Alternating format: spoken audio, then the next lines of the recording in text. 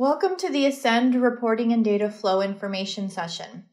This session will include information on how we plan to provide Oracle financial data and highlight the key reporting capabilities we will deliver as part of the Ascend 2.0 program. I personally think it's helpful to start off by walking through the current financial data landscape to ensure alignment on how financial data is currently accessed and how we plan to move forward and leverage modern and robust technologies with Ascend 2.0. In our current architecture for financial data, the UCLA Data Warehouse stores data sets in multiple databases to support campus wide needs.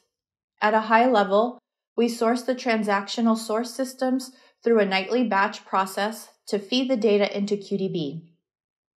For those who aren't familiar with QDB, it is our first generation data warehouse built originally in the late 90s to address the data needs from campus querying financial information and to not burden these inquiries against the mainframe. QDB is a SQL Server database that allows our users direct access to the tables for self-service reporting. Users took the data and built their own reporting solutions, merged the data with other sources, and also fed the data to their downstream applications. About 10 years in, the realization set in that QDB would not be a sustainable design for data storage and reporting, and the Campus Data Warehouse was introduced. At that time, with stakeholder engagement, multiple interviews, and information sessions, it was determined adopting the data warehouse design with a business intelligence tool to drive report development was our best path forward and after an RFP process, the group selected Cognos as our reporting tool. Our payroll and personnel system was first to go live in the campus data warehouse, and financials followed soon after. Adoption to Cognos and utilizing the data warehouse design didn't occur as we had hoped and envisioned. Among many factors, users were very reliant on QDB and didn't see the need to migrate their efforts and kept moving forward as is. When UCPath came along many years later, lessons learned from the past had us approach the UCPath implementation differently. Knowing how transformative a change UCPath would be to how HR and payroll would be conducted, we leveraged the opportunity to introduce bigger changes to data and access reporting. The design of the new UCPath system was quite complex compared to the existing PPS system. We realized the steep learning curve for QDB users would not be well received and a shift needed to occur. At that time, we split our user base between our Tier 2 users who support downstream systems from our report developers and consumers. Therefore, the split you see on our slide shows where we started making the distinction and allowing only a subset of users direct access to the UCPath tables in ODS. We moved the majority of our users to Cognos, where there is a suite of centralized UC Path reports available and also self-service capabilities to develop their own reports. And as we move to the next slide to discuss Ascend, we plan to again leverage this transformative project to introduce a more robust and modern technology solution for data analytics and access. We will plan to source the in-scope data sets as part of Ascend to make available to our stakeholders. Certainly, Oracle financial data and Jaggaer are in scope, and based on what we knew from Ascend 1.0, we believe there will be others. Parallel project activities and the formation of the campus reporting work group will provide clarity on the sources and allow us to prioritize our deliverables. A key benefit with Ascend is our ability to leverage Oracle reporting tools directly querying the system for enhanced reporting. You'll see that capability noted at the top of the slide where there is a direct connection between the source and data consumption. Right away, our reporting capabilities are enhanced with this feature. In addition, to address the data and reporting needs of our community, we're very excited to leverage the UCLA Data Lakehouse to store this data in a centralized repository hosted on AWS.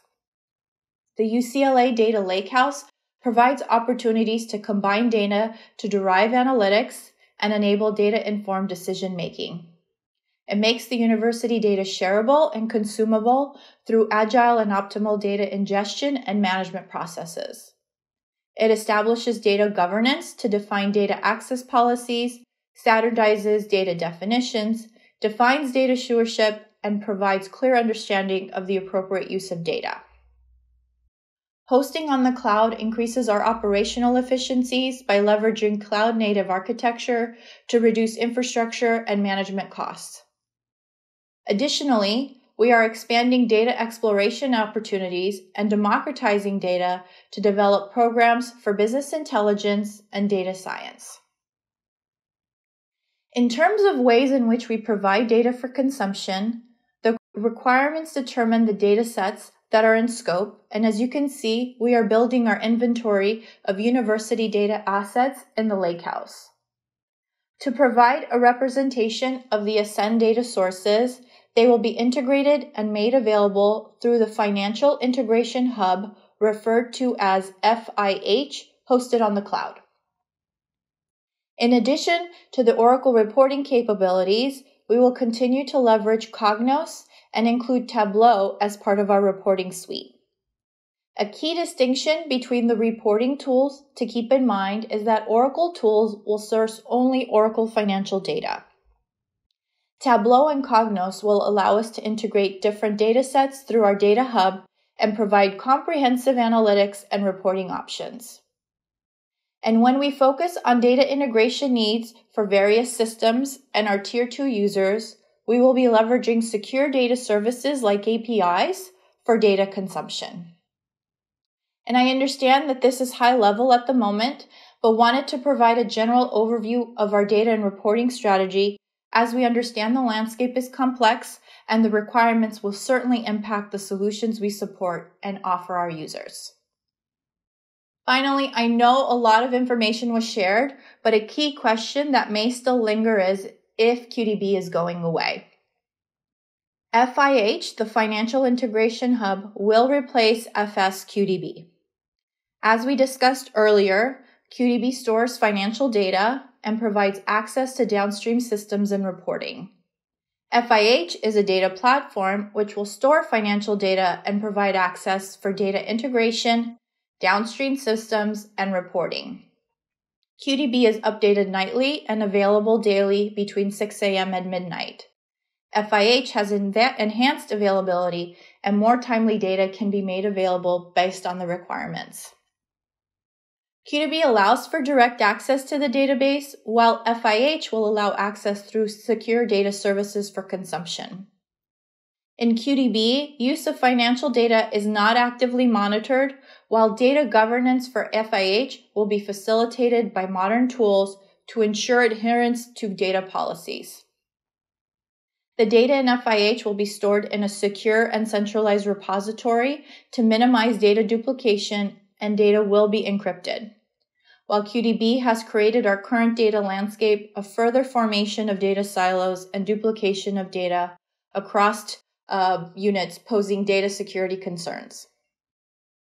Hosting data in the cloud with the UCLA Data Lakehouse architecture provides for agile data ingestion processes and easier extensibility to integrate with other data sources, while QDB is based on a rigid pre-built data model.